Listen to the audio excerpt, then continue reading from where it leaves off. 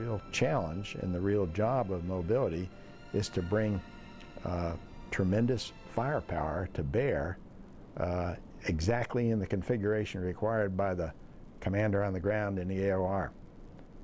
The people of Air Mobility Command are what make it work. If you define important jobs as those that are uh, given the task of solving the most difficult problems, then they have some of the most important jobs in this country.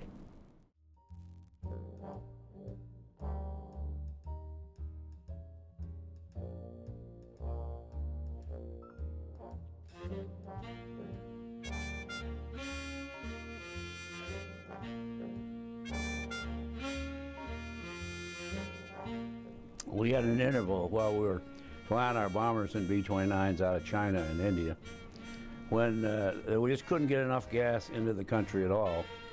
And the Air Force modified a bunch of B-24s into tankers. They called them the C-109. It carried one hell of a load of fuel. It could carry more fuel to our bases in China and come home without refueling than could the B-29 itself. And he said, okay, what did they do in the Berlin? They put, a, they put an airplane at the end of the runway every 10 minutes, and loaded or not, it took off and it flew, and we just cycled the airplanes round and round and round and round to make sure that Berlin was supplied as we had promised them. Uh, and so we did that for Bosnia. And we told the customer we're going to put an airplane at the end of the ramp. So we'll put a C-17 there every hour, and if it's not loaded, we'll taxi it back to the end of the line and we'll put another one up at the front of the line and we'll put a new crew on it. The biggest changes that I saw in my career was a general acceptance of the enlisted corps as being much more valuable to the inevitable outcome and productivity and the excellence of the United States Air Force. As our force decreased in size, we didn't have the luxury of having officers or senior NCOs make all our decisions. We had to push that down a little bit.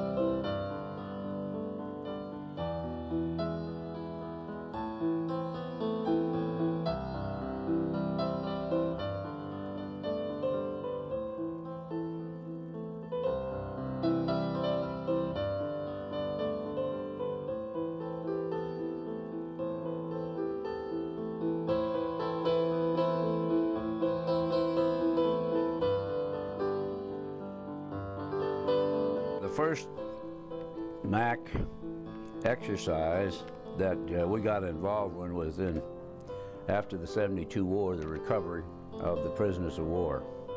There were 600 and some odd of them that came home on MAC 120 C-141s. And it was a touching go affair. You can imagine flying big airlift missions into uh, the capital of North Vietnam very shortly after we just bombed hell out of the place.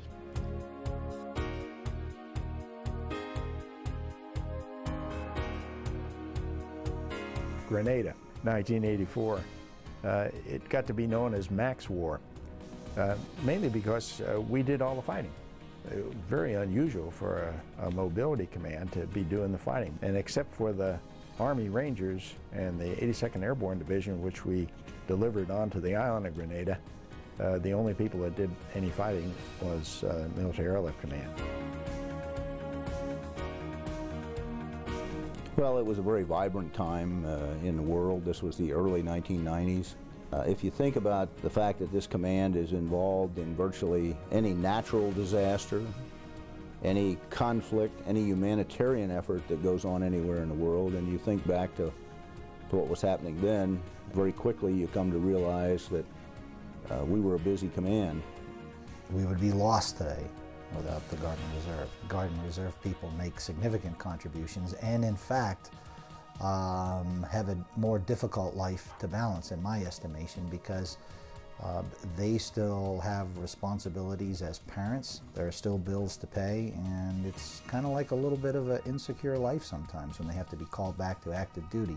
They do this with great pride, um, much like their active duty counterparts, and when they're performing their tasks, nobody can tell the difference And we're very, very blessed in the United States Air Force that our Guard and Reserve has always been this well trained and this capable.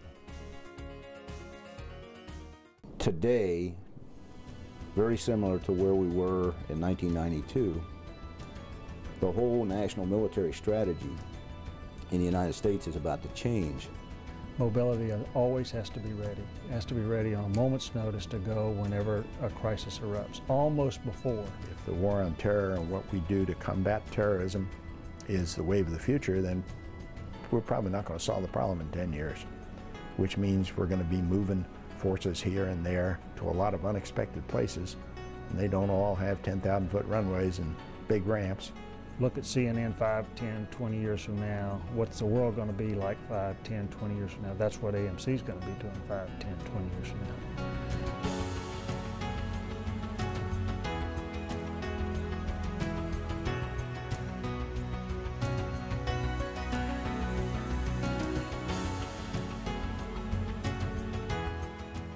American serviceman, woman, uh, there's no, no end to what they can accomplish if they're given the right mission, given the wherewithal to do it, a little motivation, and they take over and get it done. So I guess uh, the most important element would be the people.